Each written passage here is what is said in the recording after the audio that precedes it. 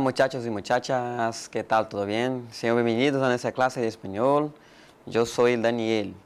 Eh, vamos a trabajar también con la enseñanza media, el terceiro ano, não? Olá, galerinha, tudo bem? Eu sou o professor Daniel, professor de língua espanhola, né? Também agora com vocês no ensino médio. Hoje, galerinha, nós vamos trazer, né, um pouco aí da nossa gramática da língua espanhola, né? Sabemos que a gramática, né, ela também serve a propósito discursivo, né? Porque quando a gente fala gramática, muito aluno ele pensa que são apenas regras, né? E essas regras são chatas, é, para o aluno ele considera que não tem finalidade, porque no Enem as questões de língua portuguesa são da maioria interpretativa, né? De análise, de texto, de compreensão, quase não cai questão de regra gramatical.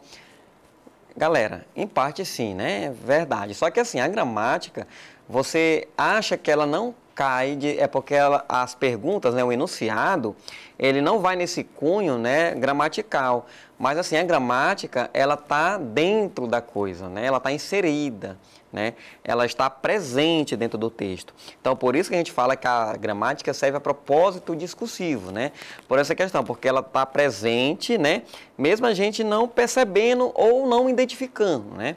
Porque, na verdade, tudo é gramática, tudo né, faz parte do léxico, né, nosso léxico é, da língua, e os léxicos são as palavras, né, e, e, todas têm uma função, né, tanto uma função morfológica quanto uma função sintática. Isso é verdade. Então, quando a gente é, aprofunda algumas questões gramaticais, é no sentido mesmo de você compreender, né, essa questão, porque você compreendendo a gramática, pode ter certeza que os seus textos, né, sua produção, você vai, você vai ter mais coesão e coerência textual, porque você vai né, ter todo aquele embasamento para fazer a questão das concordâncias, dos elementos conectivos, relação entre as partes do texto, né, tudo aquilo que é cobrado na redação do Enem do terceiro ano. Tá? Então, hoje nós vamos trabalhar um pouco do predicado, né, que é el predicado em espanhol, e slide na tela. Né? Para falar um pouco, para falar de predicado, eu não posso falar de predicado se não falar de verbo. Né? Recordando aí, verbo é uma das dez classes gramaticais, dizem, né, dizem que é uma das mais importantes. Por que é uma das mais importantes? Porque é através do verbo que nós analisamos a oração, né?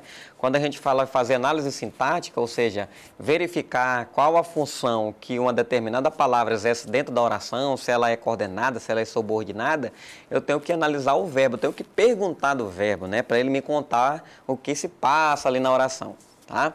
Então, os verbos, né? São palavras que indicam ações e podem expressar ação em quê? No passado, em futuro e em presente, né?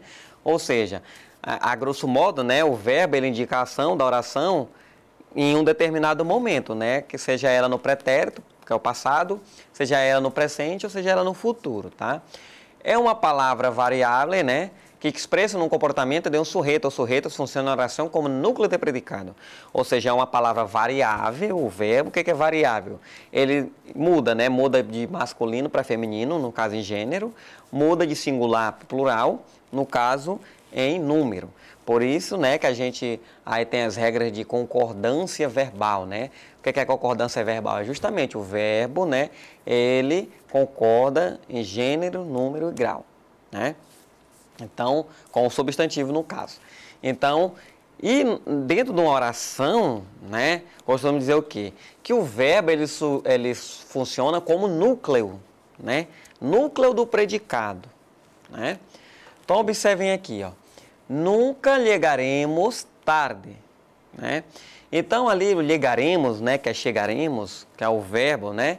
O verbo, no caso aí, no futuro, né, na primeira pessoa do plural, né? Nós, nós outros chegaremos. Então, tirando o núcleo do predicado, que é o verbo, tudo que sobra, núcleo do, o núcleo do predicado verbo, galera, tudo que sobra ali é predicado, tá? Então, tanto a palavra nunca quanto tarde são predicados, tá?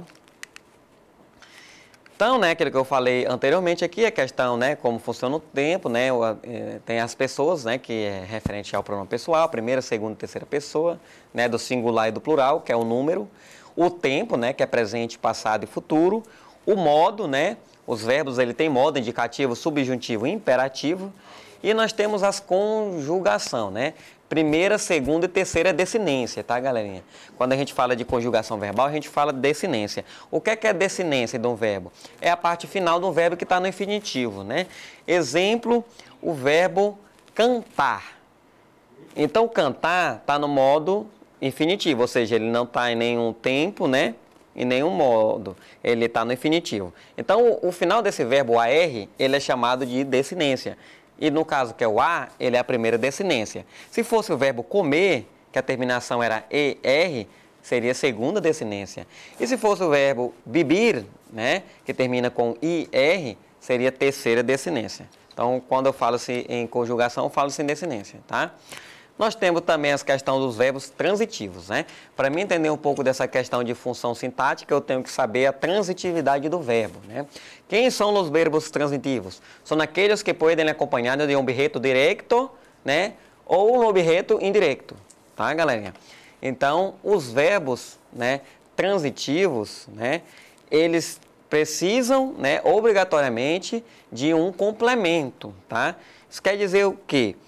Que o verbo por si próprio não traz o significado total da palavra, né? Ele precisa de um complemento, né? E esse complemento, né, que a gente chama, chama ele de complemento verbal, né? Ele pode ser um objeto direto, que é quando ele não pede preposição, e ele pode ser um objeto indireto quando ele automaticamente exige o uso de uma preposição, tá? Então observem ali, ó. Juan compra comida. Então observe que se eu falar Juan compra, fica sem sentido. Comprou o quê? Né? A gente tem muita coisa para comprar. Então, no caso ali, compra comida. Comida é o objeto direto, porque complementa ali, né? No caso, a questão do verbo. Corre el balão. Correr em espanhol não é de correr, fazer movimento não, tá, galerinha? É pegar. Correr significa pegar. Então, pegar. Se eu falasse pegar, pegar o quê, professor, né? Pegar ele balão. Então, por isso que exige um, um complemento verbal ali, que no caso, ele balão é um objeto direto, porque não tem preposição, né? Susana mirou ele relógio. Você disse, é, Susana olhou. Olhou o quê? É, olhou o relógio. Então, relógio ali também é complemento direto, né, de um verbo transitivo. Então, verbo transitivo precisa de um complemento, tá? Já os verbos intransitivos, são verbos que aqui não podem formar por si solo um grupo, predicado verbal, né? E não levam um complemento direto. Ou seja, galera, o verbo transitivo né, é aquele verbo que por si só ele já dá o significado completo da oração, ele não precisa de mais nada depois dele, né? Então, observe ali, ó, el duerme. O menino dorme. Pronto, velho, dorme acabou. Não precisa saber onde ele dorme, se é no chão, se é na cama, se é no sofá, né? Isso aí já seria uma informação adicional. Mas o fato de ele dormir já você já sabe que ele está em estado de repouso, né? Se eu disser me primo nada, né? ou seja, meu primo nada, então não precisa ser nada no mar, na piscina, nada no seco, né? Não interessa. A expressão por si só nada já, já dá a inferir, né? Já tem sentido completo, né? Então, ele campeão sorriu, ou seja, o campeão sorriu. Sorriu não precisa dizer se ele arregaia os dentes, né? Se ele deu aquela gargalhada, o ato de sorrir por si só ele já dá um né, já dá um significado total. Então isso eu chamo de verbo intransitivo, tá? E o predicado? O predicado é tudo que não é verbo, né? Geralmente, galera, predicado, né, a gente usa no que eu chamo de verbo, né? Porque o verbo tem um transitivo e transitivo tem um verbo de ligação. Geralmente nos verbos de ligação, o que é aquele verbo de ligação? É que ele indica um momento, um estado, né, de permanência, né? Ou seja, estático, ele não, não traz essa ideia de ação, ele dá a ideia de permanência, tá? Então, olha só aqui, ó, Leo foi, Léo foi aprovado no SISU, né? Exemplo aqui no português. Então, observe que o verbo ir, né, foi, é o núcleo do predicado, Léo é o sujeito, porque quem foi aprovado no SISU, pergunta o verbo, ele vai me dizer que foi o Léo, né? Então, Léo é o sujeito. Então, a palavra aprovado no SISU, tudo ali é predicado, tá? Então, notem aí o que é um verbo predicativo, né? Sempre expressando um estado em ação uma permanência, né? Exemplo, eu duermo, né? A ação de, de dormir, né? É uma ação permanente, ou seja, ninguém dorme andando, né? Não sei que seja sonâmbulo, tá? Tu escreves, né? Então, denotação de escrever, né? Mas a gente também não escreve andando, né? Escreve sentadinho lá, paradinho, com a caneta na mão, né? Não sei que, sei lá. Luiz ex-amado, ou seja, Luiz é amado, né? Então, ele, ele recebe uma ação de volta, né? No caso aqui, é um estado né, sentimental, tá? Então, ele tem os predicados nominais, né? Possui verbo de estado, ou seja, os chamados verbos de ligação, né? Que eu disse anteriormente, que é o ser, o estar, o permanecer, ficar, continuar, parecer, tornar-se, andar, viver e virar, tá? E o núcleo do predicado é sempre o verbo, tá? Então, esse mapa conceitual é, traz bem isso aí, né? Observem aqui. Los niños juegam la pelota, né? Observem que los niños, né, é o sujeito, porque quem é que joga a pelota, né? Quem é que joga futebol? As crianças. Então, as crianças são sujeito ali, né? Juegam é o núcleo do predicado. E a la pelota é o predicado, né? Que é tudo que não é verbo, tá? Então vamos aqui às nossas atividades práticas, né? Vamos marcar o que é, que é sujeito de amarelo, o que é, que é núcleo do predicado de verde, né? E vamos marcar o que é, que é predicado de vermelho. Então, ele, presidente da companhia, tem muitos trabalhadores. Ele, presidente, é o sujeito, né? Tiene é o núcleo do predicado, que é o verbo, e os muitos trabalhadores é o predicado. Né? Que é o presidente da companhia, tem muitos trabalhadores. Mi papai e eu fomos à praia, ou seja, meu pai e eu fomos à praia, né? Então, observem aqui, né? Que praia é predicado, fomos verbo, papai é sujeito, né? Papai e eu. Marcos, Eduardo e Felipe são irmãos, ou seja, Marcos, Eduardo e Felipe são irmãos, né? Nós temos ali como predicado irmão, som, ali verbo, né? E o sujeito destacado em amarelo. Ele come salada todos os dias, né? Ela come salada todos os dias. Aí nós temos a classificação, né? Ele é sujeito, come verbo, salada todos os dias é o predicado.